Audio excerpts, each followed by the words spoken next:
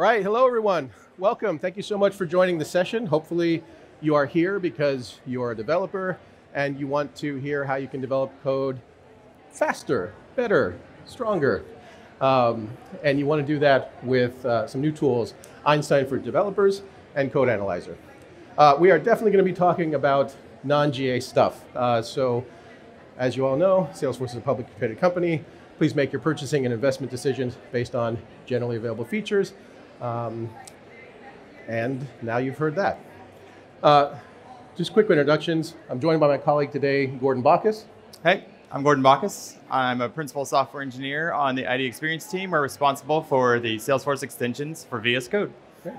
And I'm Vivek M. Chawla. I'm a principal ISV platform expert. Uh, I cover packaging and distribution, uh, enterprise scale, and our Salesforce developer experience. And that last bucket uh, means a lot to me. I've been writing code since since I was, uh, I don't know, eight years old. And has this stopped working? Writing code since I was eight year old. And one thing that's always been clear to me is that writing code is, is hard. Um, when I start a new project, um, it's, it's like climbing a mountain. We'll get to that in a minute. But what we're going to do today is we're going to talk about what makes writing code difficult, um, how Salesforce is trying to make that better, Gordon's going to spend the bulk of our time actually showing you uh, in real time with live demos um, what our tools can do. We'll talk about a little bit of roadmap. I'll give you three things that you can do today, like you can go home right after this session and and uh, and start playing with stuff, and then we'll let you go to your next uh, next session. Okay, so I mentioned that when when I start a, a software project, it feels like I'm st standing at the base of a mountain. I know where I need to go. I, I want to go up. I want to get to the top but I don't really know how to get there. Um, what is the fastest way? What is the safest way? Am I going to be going all by myself? Do I have to blaze a trail that other people need to follow? Um, there's so many different things that that can happen, and when you're staring at that blank piece of paper, it can be difficult. Um, and that's because it, it, takes a lot of hard work to you know get to the top. And if we back away from this mountain metaphor for a second, getting the top really means um, a, a, few things, right? It means that while I'm building, I, okay, let's try that again. Well, what it means is that while I'm building, I'm focused on performance, I'm focused on security, I'm worried about best practices. After I do all that building, I'm still not done worrying. I have to worry about the code being styled right. I have to worry about complexity. Is my code too complex? Not complex enough? Are there errors? And all of this is done in service of, of, of getting to that, that peak of having good quality code that I delivered as quickly as possible. Now, we're here because talking about the, the things we're going to show you today because we're at an inflection point in the software development industry, right? There are challenges that we're all facing that we didn't have before. There's this explosion in apps. Everybody's got an app on their phone their, their, their devices, their cars. Apps are everywhere. Um, these apps are very complex because there's all this personalization that we, that we love as consumers. Um, but as developers, that means we have bigger workloads and we're trying to, to, to do all of that in shorter time frames. Now, when you put all this together, um, it's a recipe for burnout. Surveys show that eight out of 10 of us feel burned out in some way um, at at least some point. And so what the Salesforce platform team has, has wanted to do is, you know, we've, we've asked how could we leverage this, this explosion of advanced artificial intelligence to make life better for developers. And if we think about the, the pain points that happen in the software development lifecycle uh, uh, process, each of these represents an opportunity for change. And so our vision on the platform is to use AI in different ways to make life better for developers. Now, the vision that's showed here, some of it's forward looking, um, some of it's here today, and we'll show you the stuff that's here today. But if we can achieve this vision, it's going to lead to a lot of things 45% faster speed to develop, documentation much easier to make, 35% faster, refactoring code becomes easier. You can do it in 20% of the time. And if we can achieve all this, then productivity goes up more than 50%. And this leads to a world where we as developers are going to feel more fulfilled because we are, are basically being elevated from coders to strategic thinkers. So this is our vision. This is where we want to go. Now I'd like to talk about where we are today. I'm going to focus on two tools that you could use right now to build better code faster. The first is Einstein for developers. Now, Einstein for developers, this is a generative AI tool. It uses Salesforce's own LLM. And our intent is to help you build, build smarter, faster, stronger, but to do so in a trusted way. So what do I mean by, by coding smarter, building smarter? Well, essentially, when you're paired with, with Einstein for developers, you get an AI-powered pair programmer right out of the box. Einstein can help do a lot of the tedious things which frees you up for the more strategic thinking. Code faster um, because this tool lives where you work, right? It's, it's, it can be embedded inside of Visual Studio Code or Code Builder if you're using that. And, um, and essentially you're, you're using AI, and Einstein is helping you right where you are. And finally, Code Stronger. Einstein's providing you with best-in-class examples of, of CRM code so that your applications can be built knowing you're following best practices, knowing you're following code quality.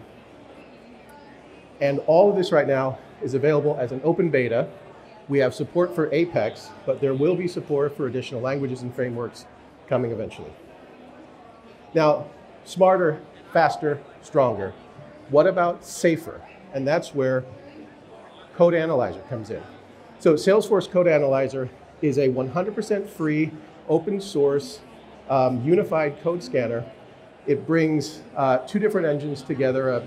Uh, um, we have kind of a fast engine that, that checks, you know, do, like doing syntax checking within single files. And then we also have a graph engine that understands the complexities of your entire code base and follows paths through so you can, you can scan either fast or deep depending on what you need. Now what this means is that you can leverage these, these you know, industry leading engines and over 250 rules to write better code, more performant code, more secure code, and identify problems before they, they get out into production. You can do that uh, in a couple ways. One, you can do it as part of your CI/CD process. Code Analyzer is a Salesforce CLI plugin.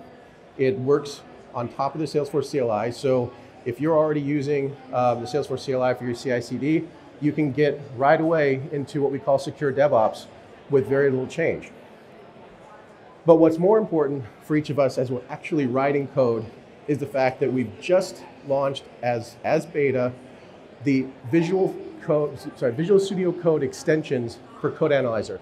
This means that right in the IDE, you can check a file, you can check a, a code block, and you can get feedback in a really nice, well-presented form in the IDE.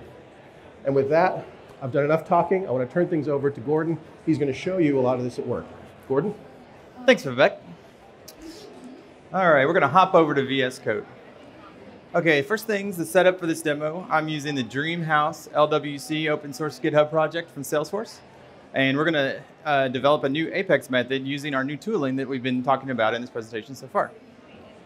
So first the setup, if we take a look at extensions, we can see that we have our Salesforce extension pack. This is what powers our Apex, LWC, our debuggers, all the good stuff that you're used to using inside of VS Code for Salesforce. We have the Salesforce Code Analyzer extension. And finally, the brand spanking new Einstein for developers.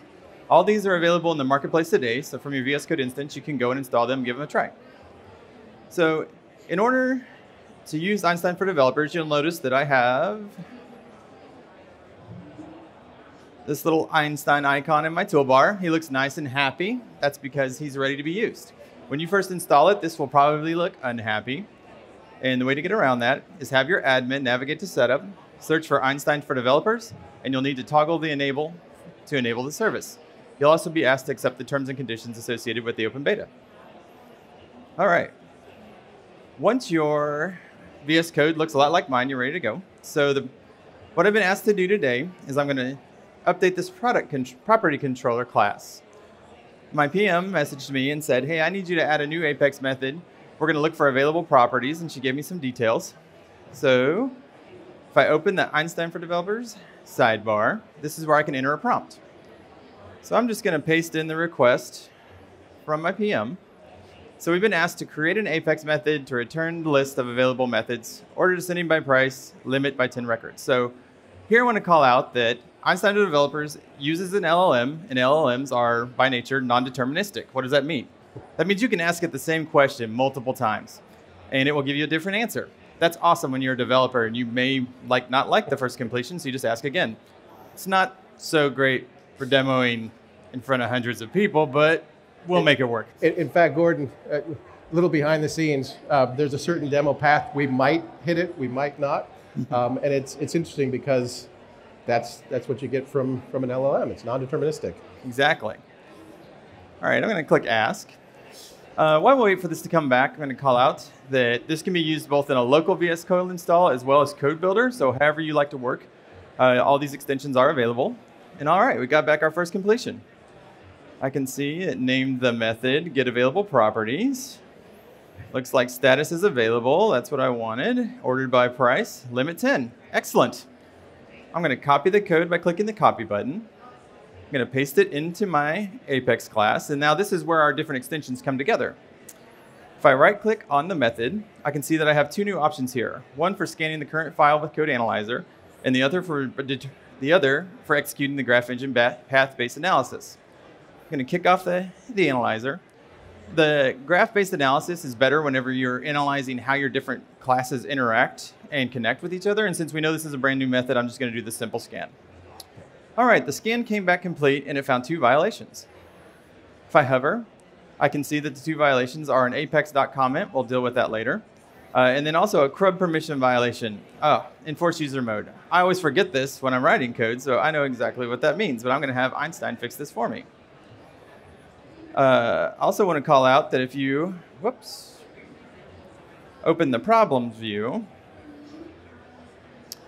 it also reports the violations here. So if you want to, if there are many violations in a file, this is maybe often a better view for like taking a look at what's affecting your entire class and how you can resolve them. And Gordon, real quick, this is this is one of the, the really nice benefits of having Code Analyzer integrated with VS Code. Um, Code Analyzer went went GA uh, earlier this year, um, but just as the CLI plugin. And that CLI plugin, when you're seeing the, the results of the scan in the terminal, it, you know, it, it's harder to make out what's what. This kind of display where it's beautifully integrated within the problems, uh, uh, I guess, window or component of VS Code makes it easy to spot. Plus, you had all that hover tooltips. I mean, this is this is why this um, the appearance of Code Analyzer inside of VS Code is so important. Yeah. And it's a little hard to see here, but it also navigates you directly to the spot in your code where the problem exists. So this is standard VS Code behavior. It should act and behave like all your other tooling, so we just integrated directly with that. All right, let's solve this CRUD problem. So I'm going to come back to Einstein, and I'm going to say add a new, I'm going to engineer my prompt to ask it to add user mode.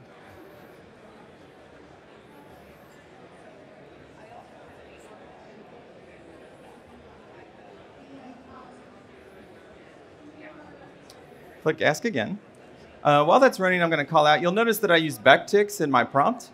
So the backticks are Markdown, and our Einstein for Developers LM understands Markdown. So whenever you're specifying code in your prompts, be sure to use standard Markdown behavior. All right, let's take a look at the next response. This is not quite what I was looking for, but it's a little hard to read, so I'm going to update it and ask it to make it a little more readable.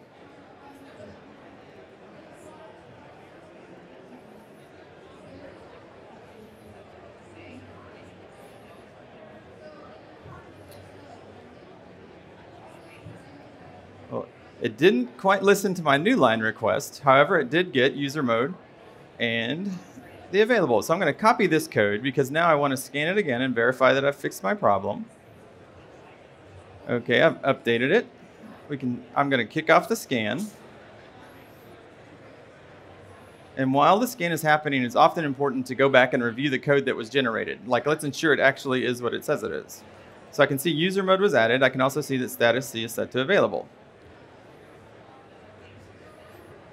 Let me clear this. Oh, and often don't forget to save because if you don't save, then the analyzer's not going to find the update.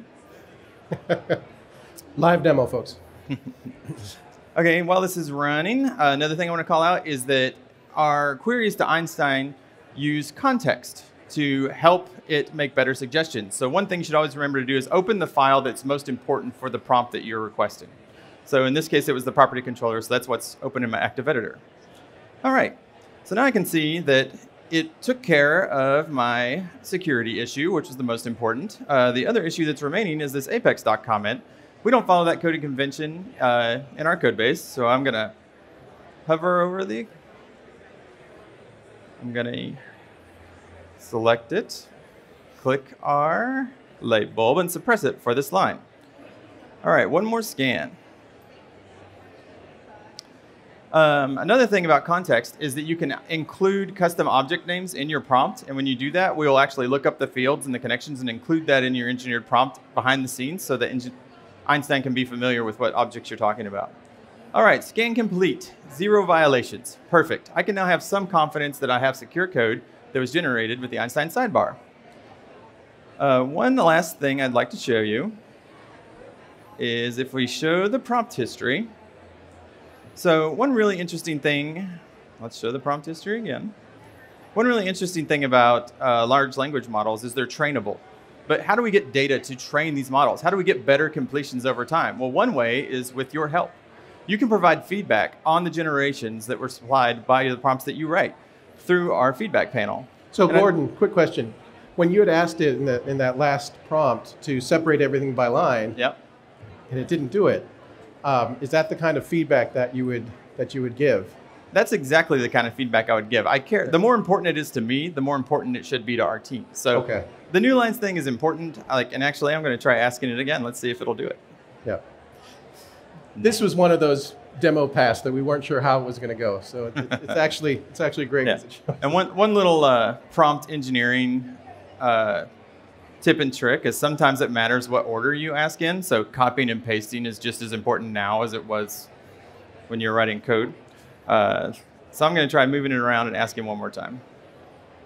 There we go. Okay, there we go. So just because I changed the, like, it's always learning and how it takes the input and parses it. There's a lot of stuff going on in the back end for how that works. So sometimes when you change how you ask, it'll change the result. So Gordon, prompt engineering, it's a real thing. I mean, it is. It, it is a real thing. It's it's part of how all this ends up working well.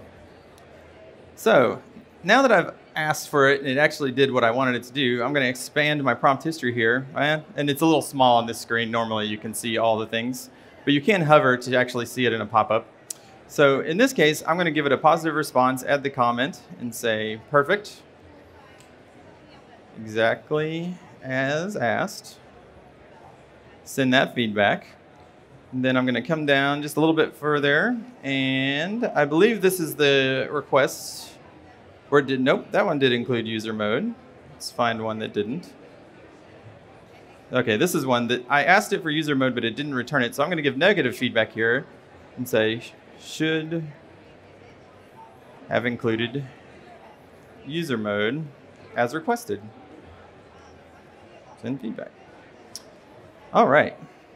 So yes, Feedback is very important to us. It's going to help us make the models better. Please include that as part of your development flow. And thanks a lot. That's our demo. Thank you, Gordon. There are live demos, and then there are live demos. And when you don't know what's coming, it's, it's live. All right, folks. So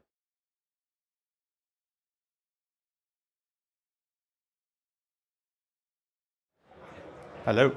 We're Hello. back. Testing. Can you hear me? All right. Okay, so what did we just see? Um, we, we, saw a formula for modern software development uh, using, that ended up with high quality code. Gordon started by, by asking Einstein to generate code. From there, he used Code Analyzer to validate the code. It wasn't quite what he wanted, so he iterated, and all of that combined lets Gordon elevate from coder to strategic thinker. All right, best practices. We'll blow, Gordon actually talked through some of this. Um, the one thing I think, Gordon, that's, that's missing is when you did that first prompt, you actually, you mentioned, you just kind of cut and paste what your, what your product manager said to you. So writing prompt, good prompt engineering in a, in a sense is like putting your PM hat on and, right. and trying to yeah. ask what you need. Um, and then Gordon, the fine tuning completions, maybe uh, the context you're talking about as well, but fine tuning completions, do you want to say anything on that? Uh, just be sure to go back and if you're, you're not getting exactly what you want, just continue to update your prompt. Try different things. There's lots of experimentation here. It's a very, like we are in the new world of AI. So try lots of things. It's not perfect today, but it'll get better and better as we go. Okay. Uh, for Code Analyzer, hey, if you're going to use uh, Code Analyzer with CI/CD, you want to run that scanner run DFA command. If you use it, the plugin, you can narrow your focus with the dash dash target flag. But honestly, use it from the IDE. You saw how easy it was for Gordon. That's really the best of the best practices. All right, get your cameras out. There's about to be a slide that has the, the QR codes to get everything that you need. Um, this is the roadmap. We're almost out of time, so you can photograph that. And this is the, the, the important one. So everything that we showed you is 100% free. Everything is available today. Follow these QR codes. You can get into the Code Builder beta. You can try Code Analyzer, uh, plugin, and extensions, and you can get into Einstein for developers. Thank you so much. Uh, visit us in the platform park. All these demo booths are there. With that, thank you so much.